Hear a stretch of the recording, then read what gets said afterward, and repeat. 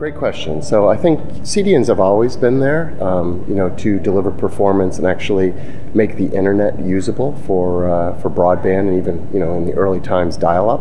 But a lot has changed in the last five years. Uh, for example, um, let's talk about traffic. Uh, it took Akamai about 10 years to reach a terabit of capacity in traffic. Uh, this September, uh, uh, within the last five years, this September, we, we delivered 13 terabits of traffic. So that, that's all one terabit to 13 terabit in the last five years. So, so traffic has, uh, has exploded in the era of hyperconnectivity. So that's one.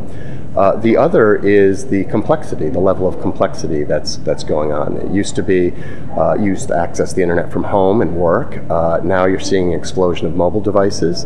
Uh, a user expects to access multiple services, multiple types of content on any device over any network at any time. So that adds a degree of complexity to a enterprise and business user uh, that's that's you know trying to uh, you know satisfy their needs. So the ability to simplify the internet is something that the internet uh, uh, that a CDN does um, by its ability to uh, deliver uh, a single stream uh, and also to be able to adapt the content to whatever the device happens to be. So the simplicity uh, is something that the, the CDN brings. Um, and then as it relates to you know how, how it affects a, a network operator, um, you know it used to be that a, a enterprise would perhaps buy a hosting service from a network operator and basic connectivity for a network operator. And, and now there's a plethora of cloud services that are available.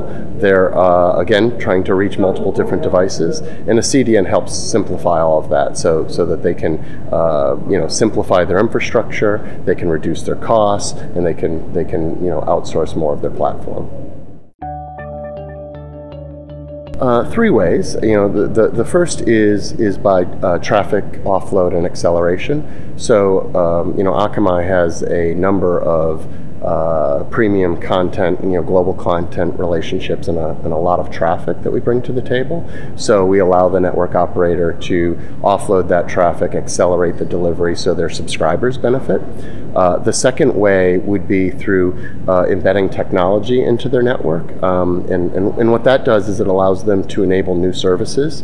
So a lot of service providers have licensed content relationships. They now need to reach multi-screens. CDN is a perfect way to do that and to increase increase revenue uh, and reduce churn of the subscriber base. And then the third way is to, to sell advanced services um, to enterprises. So when you look at what they're trying to accomplish and differentiate their connectivity uh, and their cloud infrastructure via other, uh, other service providers, CDN is a perfect way to do that. It allows them to uh, not only differentiate but sell advanced services to, to enterprises who are you know, increasingly trying to reach a global audience.